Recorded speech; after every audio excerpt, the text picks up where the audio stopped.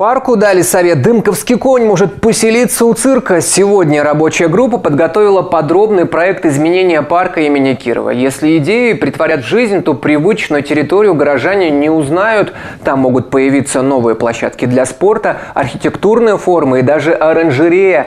Говорить о стоимости пока рано, да и даже думать страшно. По скромным подсчетам проект может превысить полмиллиарда рублей. Напомним, в ноябре прошли публичное слушание по концепции изменений в парке. С учетом мнений и предложений кировчан рабочая группа создала проект.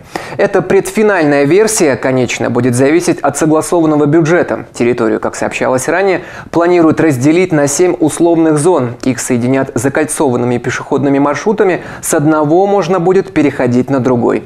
На входе в парк со стороны улицы Горького планируют установить скульптуру «Дымковская игрушка в форме коня». У диорамы хотят хотят создать оранжерею, она будет открыта для посещения круглый год. На высоком берегу пруда хотят установить качели с видом на весь парк. Останется лодочная станция. На береговой линии возведут смотровую площадку и несколько пирсов для рыбаков. Концепция парка в целом полна масштабных изменений. Если все идеи учтут, то он обретет новую жизнь. Общая площадь примерно 25 гектаров.